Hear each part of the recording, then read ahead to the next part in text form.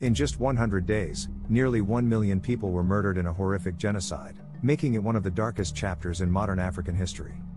This is the story of Rwanda's descent into madness and how the world looked away.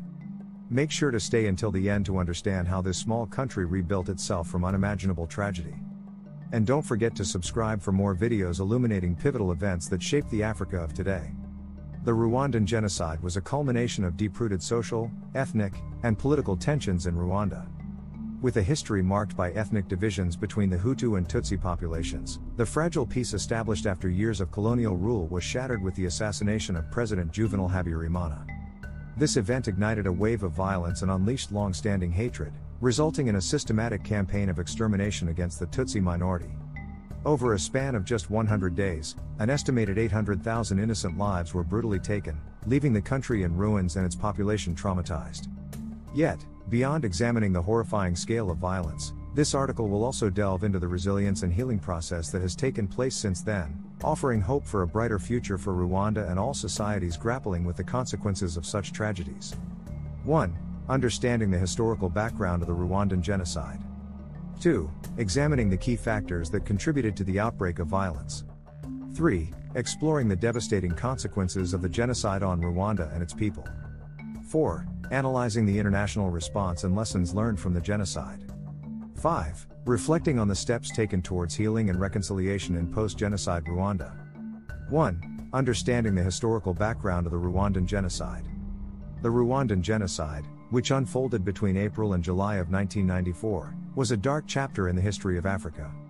It was a mass slaughter of unprecedented proportions, resulting in the deaths of an estimated 800,000 to 1 million Tutsis and moderate Hutus, to truly comprehend the magnitude of these horrific events, one must examine the historical background that led to the outbreak of such violence.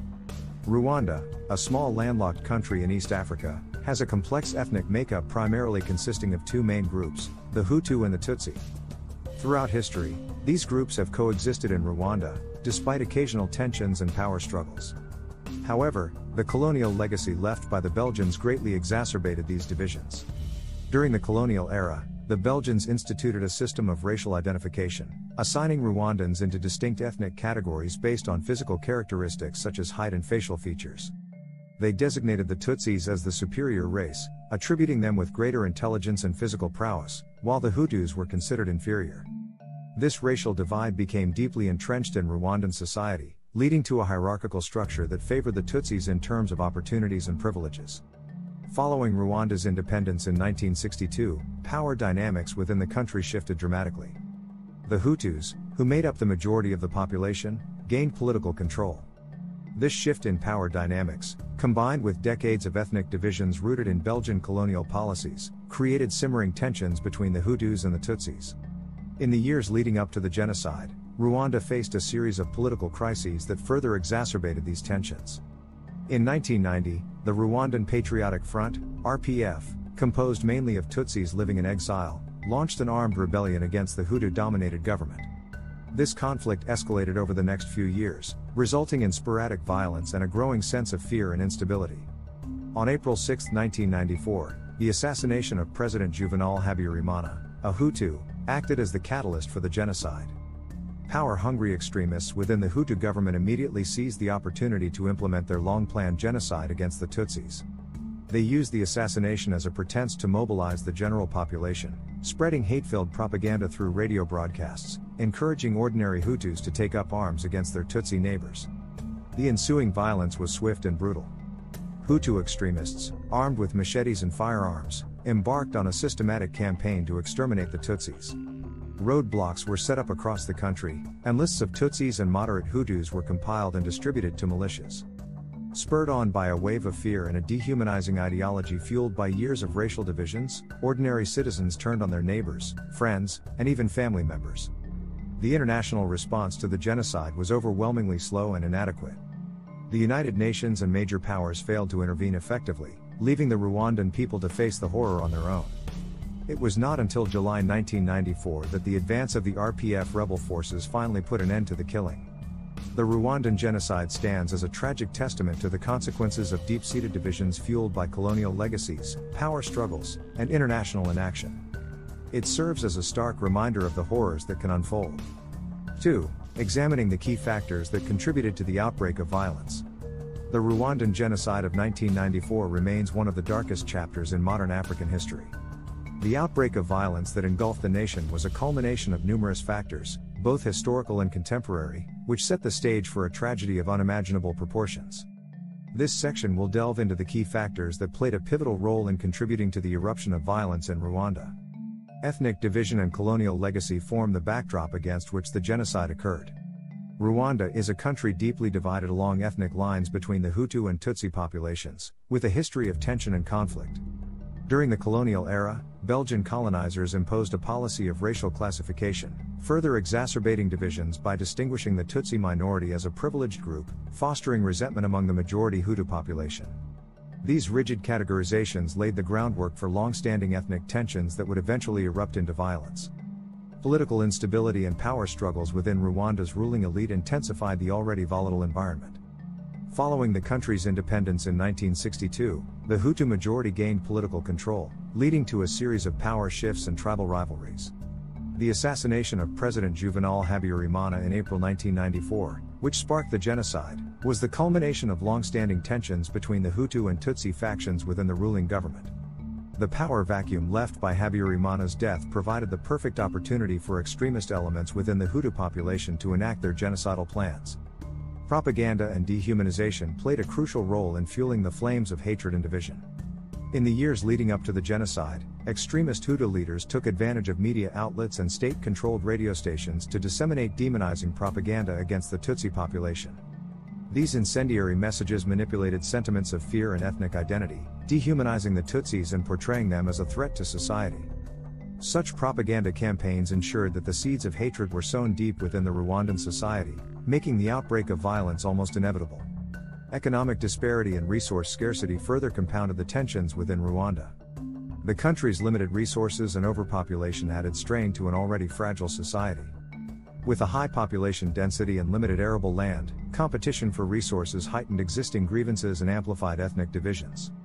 Poverty and economic hardship further fueled resentment, as the population became increasingly disillusioned with the government's inability to address societal challenges.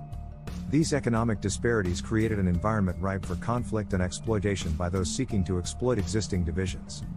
International indifference and inaction in the face of mounting tensions also played a significant role in the outbreak of violence.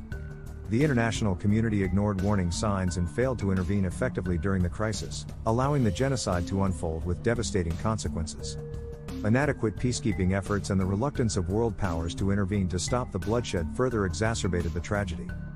3. Exploring the devastating consequences of the genocide on Rwanda and its people. The Rwandan genocide of 1994 left an indelible mark on the nation and its people, resulting in devastating consequences that continue to be felt today. The mass killings, which targeted the Tutsi ethnic group, not only claimed the lives of an estimated 800,000 individuals within a span of just 100 days but also shattered the social fabric of the country and left deep scars on the survivors. In this section, we will delve into the profound consequences of the genocide and its long lasting impact on Rwanda and its people. One of the immediate consequences of the genocide was the displacement of an overwhelming number of people. Fearing for their lives, numerous Rwandans fled their homes and sought refuge in neighboring countries or internally displaced persons, IDP, camps within Rwanda itself. This massive displacement led to an unparalleled humanitarian crisis, as these individuals faced difficulties accessing basic necessities such as food, water, and shelter. The traumatizing experiences endured by those who survived the genocide left them severely mentally and physically scarred, requiring long term psychological and medical support. In addition to the loss of human lives and the vast displacement, the Rwandan genocide also resulted in a significant disruption to the country's economy. Industries were decimated, and infrastructure was destroyed, leaving Rwanda in a state of economic chaos. The agricultural sector, which forms the backbone of the Rwandan economy, suffered immensely, as farmers were killed or driven away, and entire crop fields were abandoned. The destruction of commercial enterprises and the collapse of the tourism industry further exacerbated the economic crisis, pushing the country into a long period of reconstruction and recovery. The social consequences of the genocide were equally profound.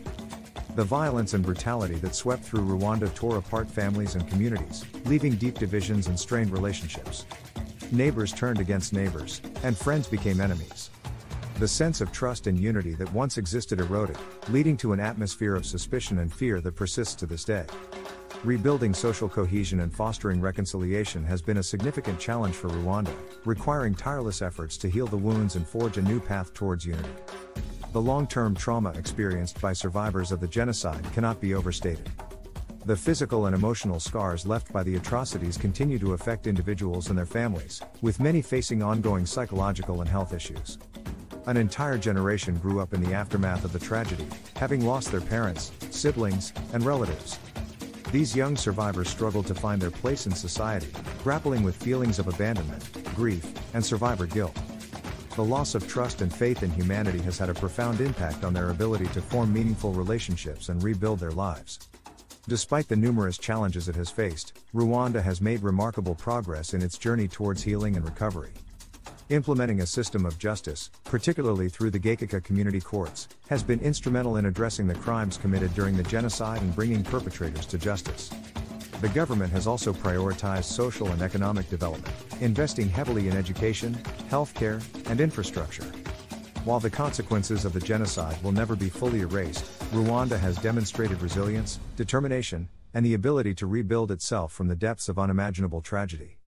4. Analyzing the international response and lessons learned from the genocide.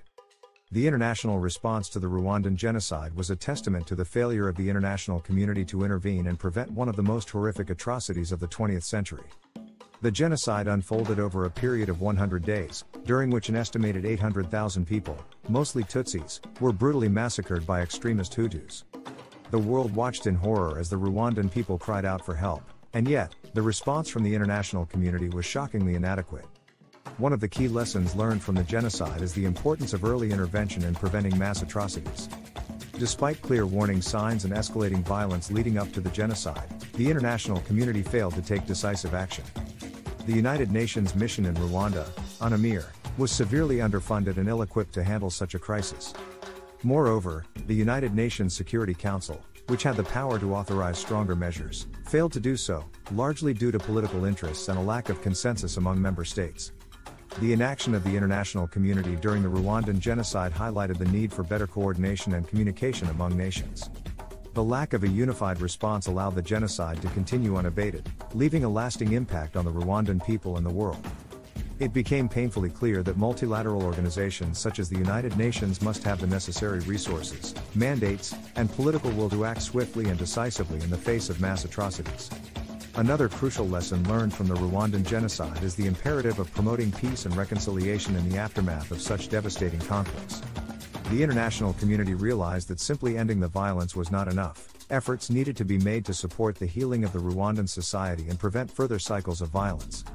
The need for transitional justice mechanisms, such as the International Criminal Tribunal for Rwanda, ICTR, became apparent to hold those responsible for the genocide accountable and provide justice for the victims. The Rwandan genocide also highlighted the dangers of ethnic divisions and the urgent need for inclusive governance and nation building. The Hutu Tutsi ethnic divide had long been exploited by political elites, and it was this division that ultimately led to the genocide. The international community recognized the importance of inclusive political systems that respect the rights and dignity of all citizens, regardless of their ethnic background. Efforts were made to support Rwanda in rebuilding its institutions and fostering a sense of national unity and reconciliation. Overall, the international response to the Rwandan genocide was marred by failures and shortcomings. It was a stark reminder of the cost of inaction and the consequences of allowing mass atrocities to unfold. However, it also sparked a renewed commitment to preventing such atrocities and promoting peace and reconciliation in post conflict societies.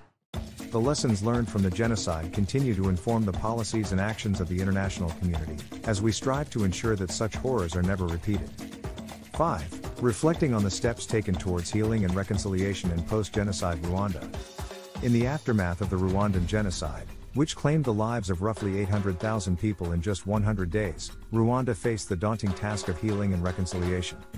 The scars left behind were not only physical but also deeply ingrained in the hearts and minds of the survivors and the nation as a whole. However, the Rwandan people demonstrated remarkable resilience and determination in their pursuit of healing, forgiveness, and unity. One of the first steps towards healing and reconciliation was the establishment of the Gacaca courts in 2001.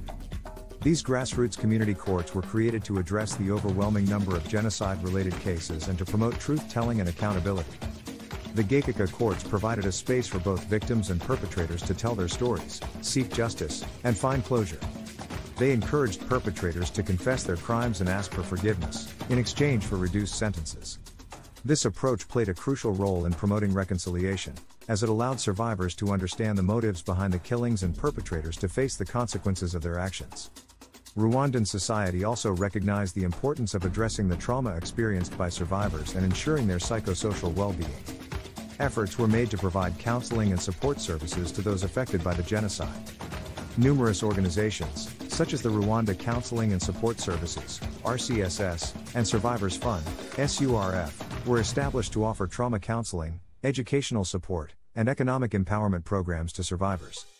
By addressing the emotional wounds caused by the genocide, these initiatives played a vital role in rebuilding the shattered lives of survivors and fostering a sense of hope for the future.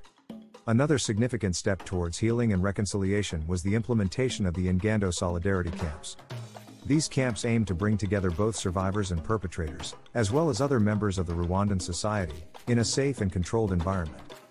Through various activities, such as group discussions, workshops, and collective labor, participants were encouraged to interact and engage with one another, fostering empathy and understanding. The Ingando camps played a crucial role in breaking down barriers, challenging stereotypes, and promoting unity among different factions of Rwandan society. The Rwandan government also prioritized education as a tool for reconciliation. The curriculum was revised to promote a shared national identity and to educate students about the causes and consequences of the genocide. The objective was to ensure that future generations were aware of the past and could actively contribute to building a cohesive and tolerant society. Schools also implemented peace clubs and extracurricular activities that encouraged dialogue, cultural exchange, and conflict resolution, further enhancing the values of reconciliation and unity. In addition to these efforts, Rwanda has embarked on a process of national mourning and remembrance. The annual commemoration of the genocide serves as a reminder of the atrocities committed and provides an opportunity for the nation to come together in solidarity.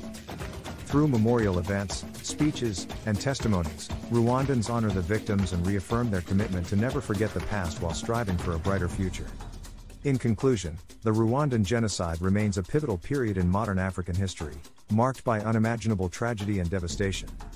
This genocide was not only a result of deeply entrenched ethnic tensions and political power struggles but also a failure of the international community to intervene and prevent the mass atrocities that unfolded.